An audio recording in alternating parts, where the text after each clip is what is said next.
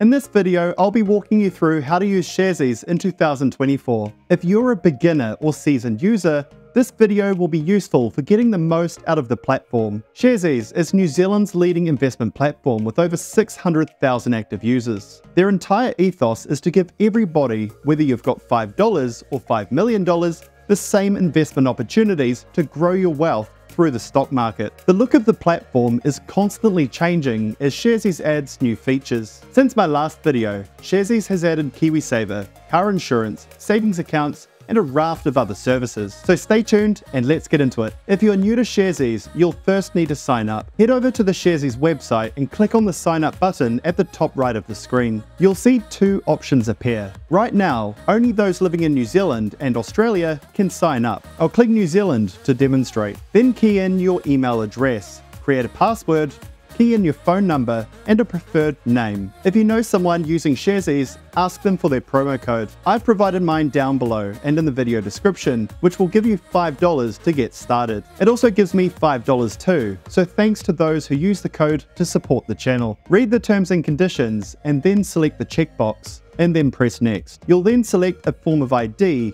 that confirms to Sharesies who you are. I won't go any further here, but once you put in those details, Sharesies will confirm them and open your account. From there, you can start using the platform. So here is the home screen, which you'll see when you open the Sharesies investment portal. At the top of the screen, the dollar represents the estimated total amount of money that you have in Sharesies. Here, I have $1,341. Below that, you'll see the cash balance. In my case, I have $10 sitting with Sharesies waiting to be invested. Under the cash balance, you'll see investments. This is the value of all of the shares and funds that I've bought through Sharesies. To the right of that is my investment return. In my settings, I've asked this to only show my return on my current owned investments. So here, I've made about $300 off of $1,000 that I put in. Sharesies offer more than just shares. They also have savings accounts offering a lucrative 4.6% interest rate at the moment. If I add together my investments, save,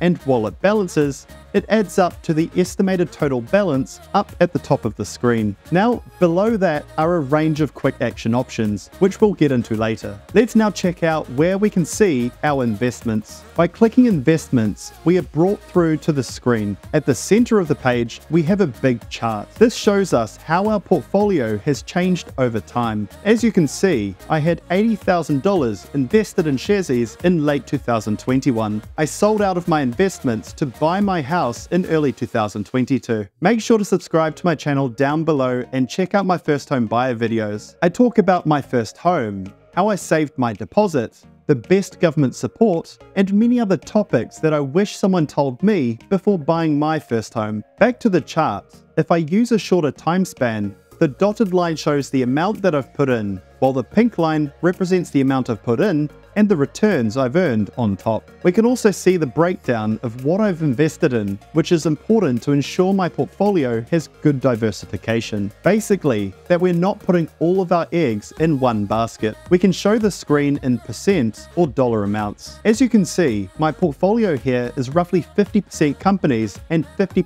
ETFs, which are funds that hold various companies' stock. Let's now go back to our investments. Below the chart, we can see that I've roughly put in about $1,000 into Sharesies. After investing this for a little while, the value of these investments has gone up by about $350, giving a 34% return. When you add it up, the portfolio is worth around $1,350. Below this, you'll also see our wallet balance again. And below that again, you'll see a very new feature of Sharesies that came out on Tuesday the 23rd of July. This is called AI Search. If we click on this button, you can then search for themes, topics, or select from their pre-prepared options below. If I click on investing in electric vehicles, for example, it pops up with a brief overview of the industry and a list of companies involved in electric vehicles. Of particular note is the fact that they write a brief explanation of how the companies are involved in that industry. Tesla, for example, of course manufactures electric vehicles,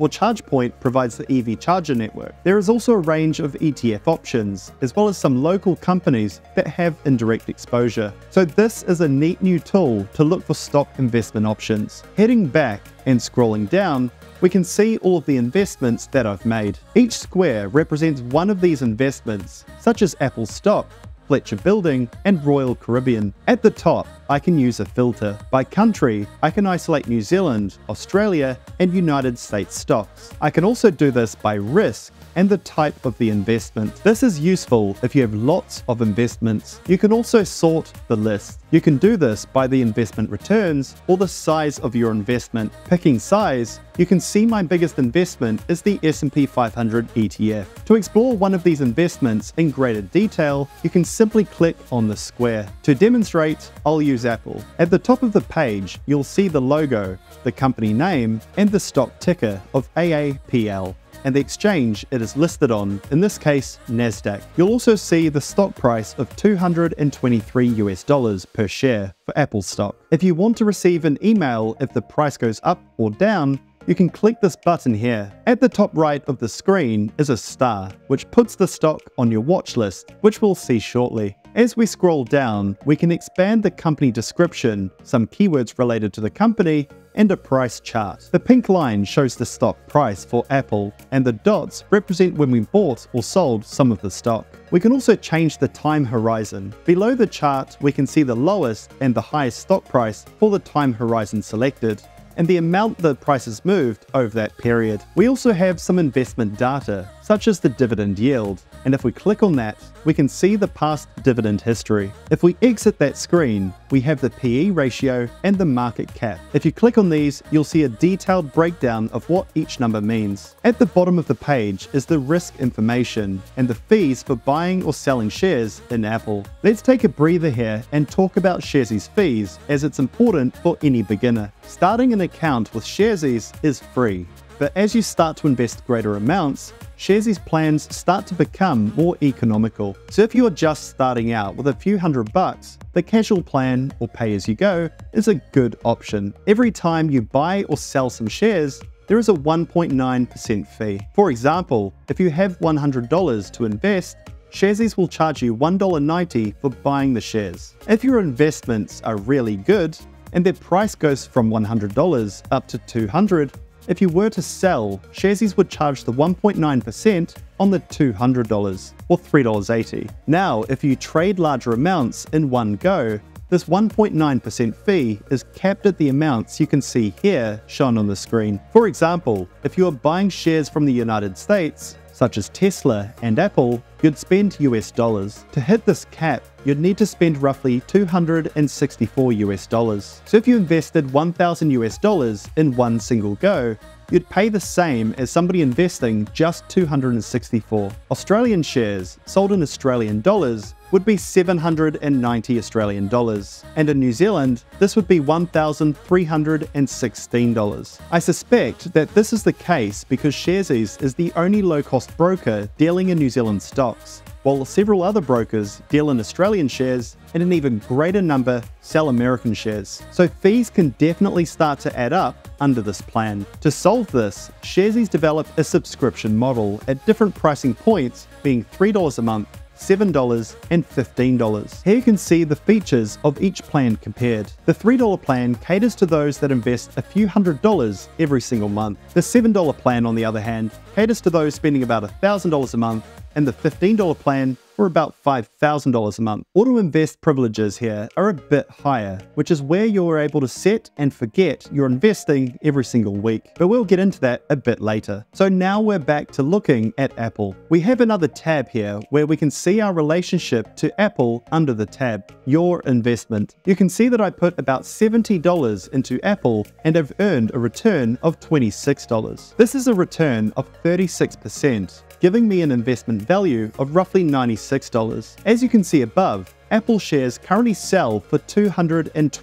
Sharesies offer investors the ability to buy partial shares, so in my portfolio, I own just 42% of a single share. This is what makes Sharesies so great for smaller investors, as you don't need thousands of dollars to get started. The chart below shows a grey line representing the money that I've invested, and the pink line shows the money invested plus the gains that I've made. Below that is some other investing information as we saw on the other tab. and a record of our transactions in Apple stock. Market buy shows us when we've bought Apple stock. Dividends is when Apple has paid profits out to shareholders like us. And if you see a market sell, that is when we've sold shares in Apple. So that's the administrative screens. Let's now buy some Apple stock. Clicking the buy button at the bottom of the screen, we have a couple of options. Clicking market buy here we just tell Sharesies the amount we wish to invest. You'll remember that we had about 10 New Zealand dollars in our Sharesies wallet. At the bottom of the screen, Sharesies has automatically converted that into US dollars, so we can buy Apple shares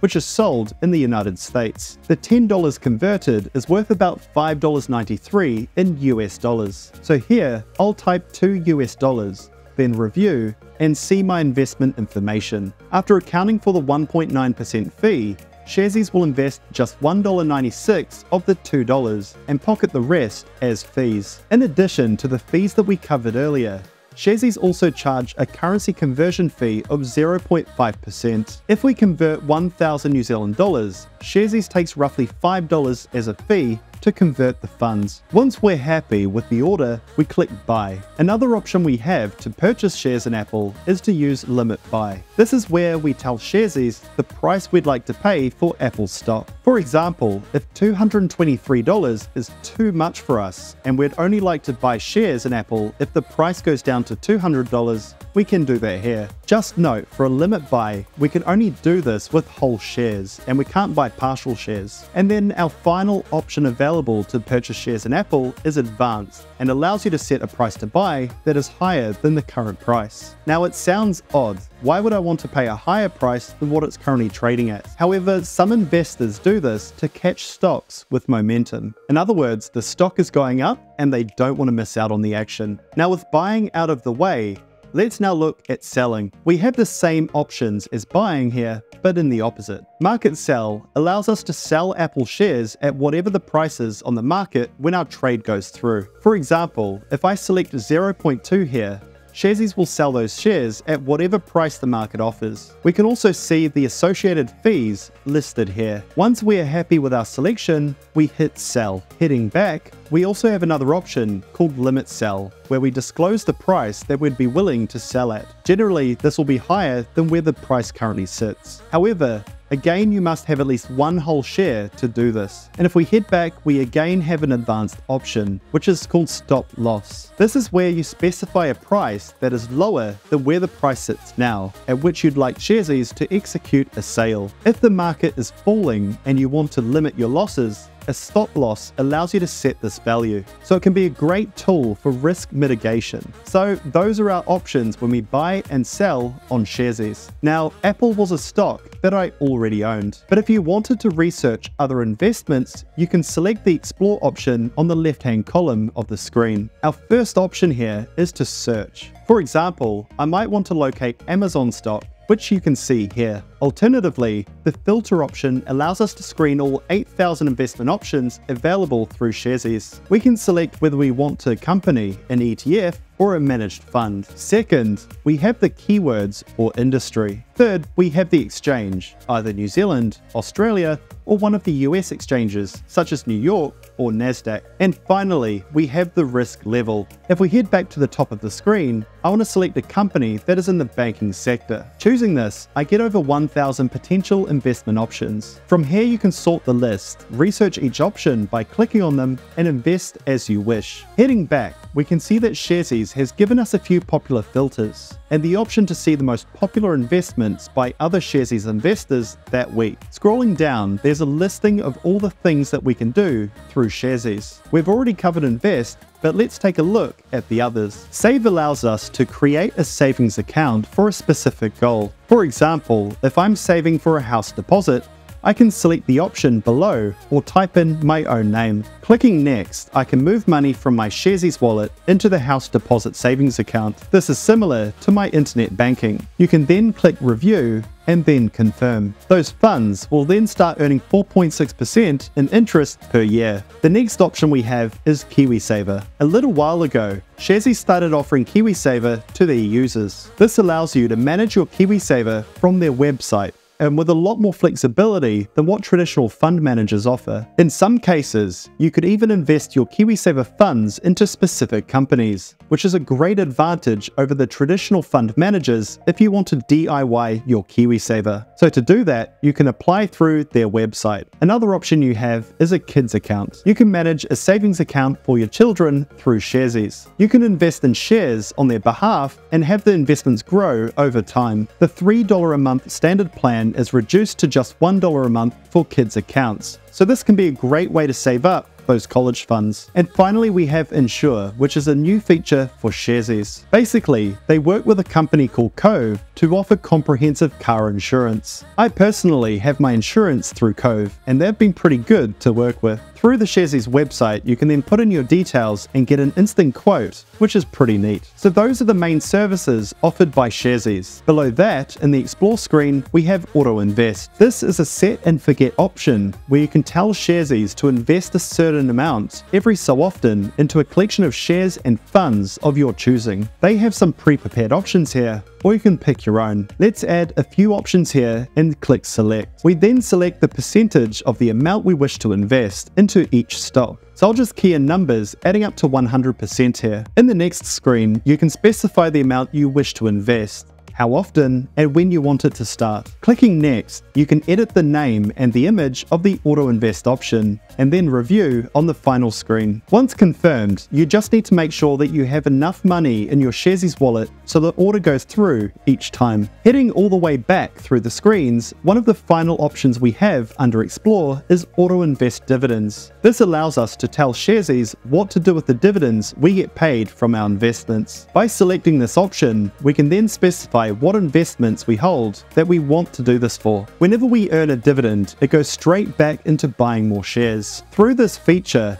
whenever we earn a dividend, it goes straight back into buying more shares. You'll also see a dividend reinvestment plan listed below this. Some companies offer this directly, which often comes with preferential terms such as no transaction fees, a better dividend, that kind of thing. In this case, I told Sharesies I want Infratil to pay my dividends in shares and not cash. Whereas with the top option on the screen, the companies pay the dividends as cash but Sharesies will then take the cash and buy shares with it. It's a slight difference, but a dividend reinvestment plan generally works out better. Heading back once more, we can find our stock watch list at the bottom of the page. We can also see our recently viewed stocks. The next screen that we'll take a look at is Wallet. Here we can see the money that is sitting around in our Sharesies account, doing essentially nothing. Right now, I have 10 New Zealand dollars and nothing in Australian or US dollars. If I wanted to exchange money between these in my wallet, I can do that here. Simply select the currency you wish to change from and the currency you wish to change to. Under that, we have the top up wallet option. To get money into your Sharesies wallet, you have three options. First, you can use a debit card or a credit card. A word of warning, this comes with a hefty fee. The second option we have is to do an instant bank transfer. Through BlinkPay, you can instantly top up your Sharesies account from BNZ and Westpac. It's convenient,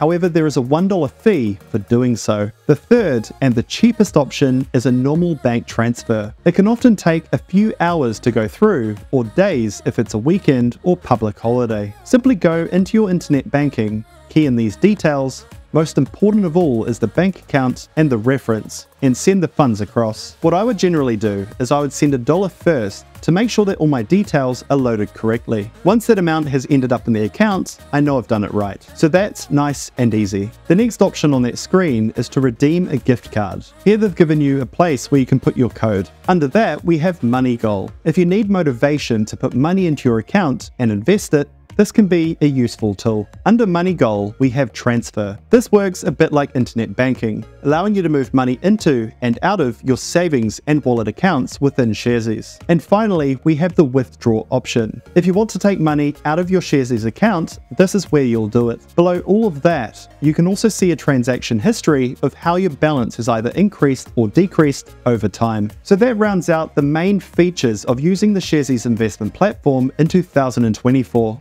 Under Share the Aroha, you can buy gift cards or produce a referral code. Under Settings, you can configure your account to be just the way you like it. You can edit your pricing plan to one of the options that we covered earlier. You can also activate two-factor authentication and get in contact with Sharesies. Learn the Basics is a good option within the portal if you're new to Sharesies and want to learn some of the investment lingo. Over 600,000 people have joined Sharesies, so they have an excellent grasp on the things that beginner investors would want to know before investing their hard-earned money. Sharesies is certainly no small company now, with nearly half a billion dollars being invested through the website in June 2024 alone. This is only set to increase as more people join and company stocks become more valuable. If you like the look of the Sharesies platform, you can sign up using my promo code shown down below during sign up. This will give you $5 to start using the platform and a further $5 back to support the channel. If you're new to my channel, I post a lot of content in the personal finance and investing space. Please make sure to subscribe down below to see more content just like this. Thanks for watching and I look forward to catching you on the next one. Cheers.